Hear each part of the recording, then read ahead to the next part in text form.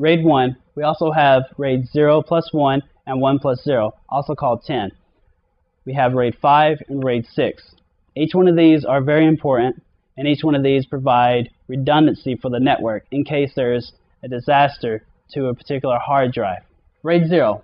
RAID 0 is striping. This is where information is striped from one hard drive to the next hard drive. If you take a file, say for instance Firefox, if you have two hard drives set up with RAID 0, the program Firefox, half of it might be saved here and the other half will be saved on this side. This allows you for quick access.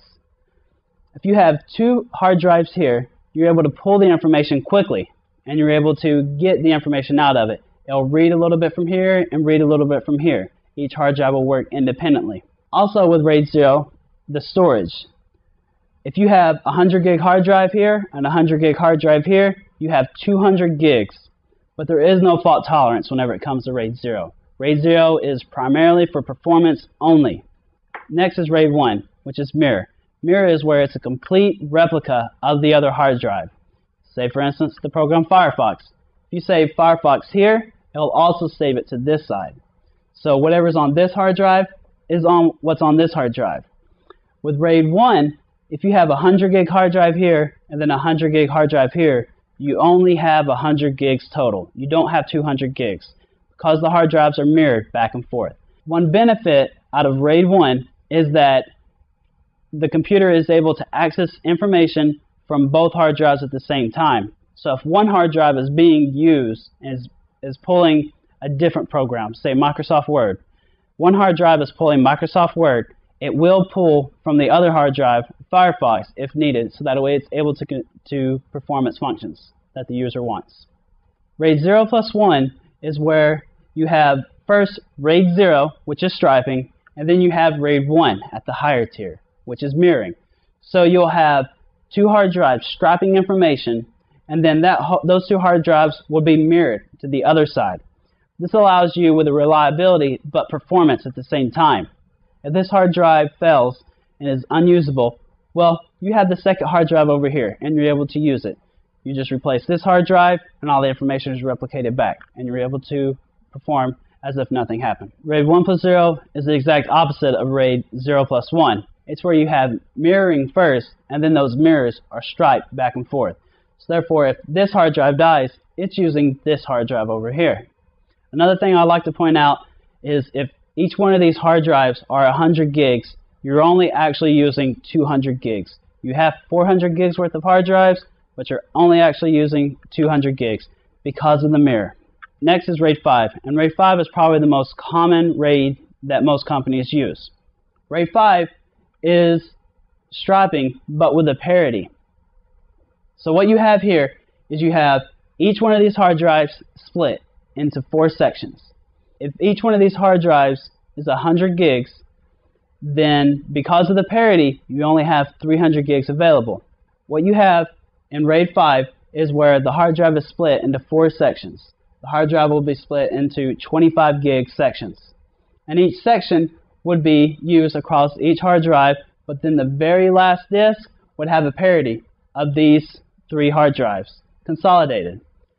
The next one which would be the other 25 gigs, instead of it being on the last hard drive, the parity is right here. So this allows you to have a redundancy, but also to have striping. So you have speed with reliability whenever it comes to RAID 5. The good benefit out of this is if any one of these hard drives fell and you need to replace it, you can pull it out, put in the next hard drive, and be able to use it as if nothing ever happened the parity inside of each one of these drives will replicate to that hard drive so that way you're able to restore your information. Users do not notice this. RAID 6 is the exact same as RAID 5, but it has two parity drives. So you're using two hard drives for your parity. If you notice here, it has the first section here, A1, A2, A3, but then there's also two additional parities on here. Same thing goes for B1, B2, two of parities, and then B3 at the other end. RAID 6 allows you to lose two hard drives and still be able to continue your normal operation.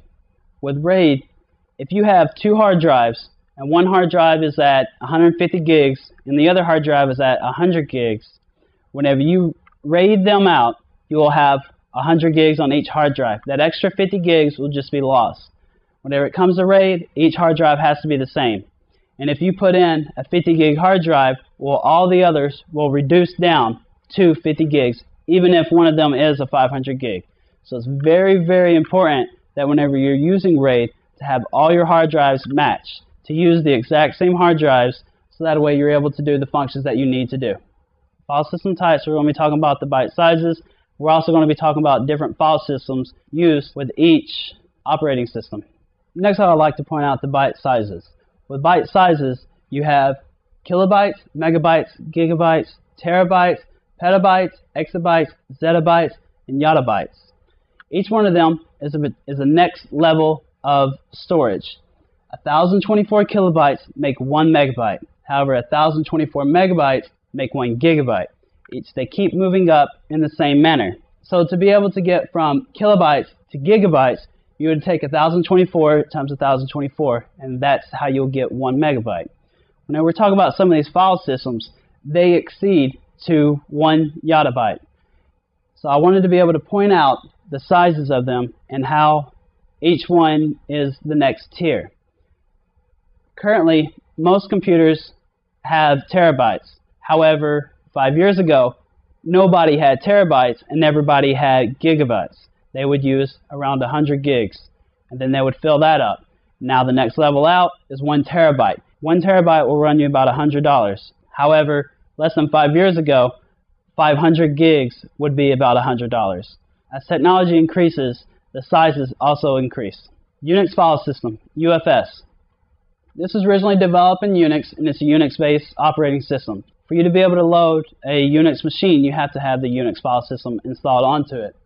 It uses a hierarchy structure, and it's the top level. The top level is called root, which is also represented by a slash. With Unix file system, the max volume size is 1 yottabyte. However, the max file size is 32 petabytes. Also with UFS, it doesn't offer any encryption. So if you're using UFS, you're not able to encrypt your hard drive to keep it unseen from other people. Next we have NTFS, New Technology File System. NTFS was developed by Microsoft, and it was developed so that way they will be able to provide compression, volume shadow copy, encryption file system, also called EFS, and quota. Quota is also very important whenever it comes to NTFS. NTFS has a max volume size of 256 terabytes. However, the max file size is 16 terabytes. And then it does offer encryption, which is what EFS is. With NTFS, you're able to encrypt your volumes so that way you're able to keep your information secure from other people. FAT stands for File Allocation Table. It is a legacy file system. FAT is used in most thumb drives, anything less than 32 gigs. It is primarily for removable media.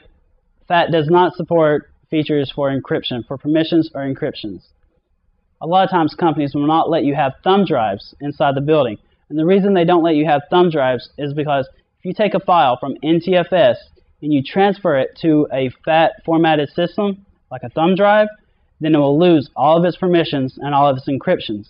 If you take a file and you move it from NTFS to FAT32, you'll be able to access it as if there were no permissions in the first place. FAT has a max volume size of 2 terabytes but it has a file, max file size of 4 gigabytes, but it offers no encryption.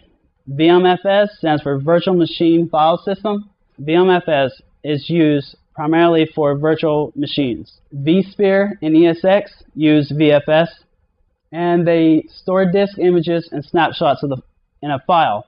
So basically, it thinks that it's an actual hard drive, but it's in all reality, it's a file. Whenever you use VMs, We'll talk about VMs a lot later on, but whenever we use VMs, you take that file and it uses it as if it's a hard drive. Because it saves it as a file, it allows servers to be able to read and write to it at the exact same time. VFS has a max volume size of 64 terabytes, a max file size of 2 terabytes, and it doesn't offer encryption. ZFS.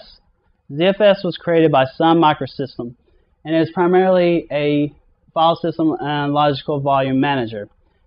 It does protect against data corruption. That is the primary means of using ZFS, so that way it keeps your files from becoming corrupt. And it supports high storage capacity. Most of the time ZFS is used in Linux, it's not used in Windows, but ZFS has a max volume size of 16 exabytes, max file size of 16 exabytes, but it does not offer encryption. The next one that we have is EXT, and EXT was primarily created for Linux itself. It doesn't offer encryption, but it was based off the Linux system. EXT is the default file system whenever it comes to Linux. Currently right now we're using EXT4. EXT4 offers 1 yottabyte. It also has a max file size of 32 petabytes and it offers no encryption. Well, in this lesson, we talked about the storage types and configuration. We talked about tiering. We also talked about RAID and how RAID is implemented inside of a network. And we talked about the different file system types. This is Cyber IT. My name is Justin Lingham, and I hope you guys learned a lot.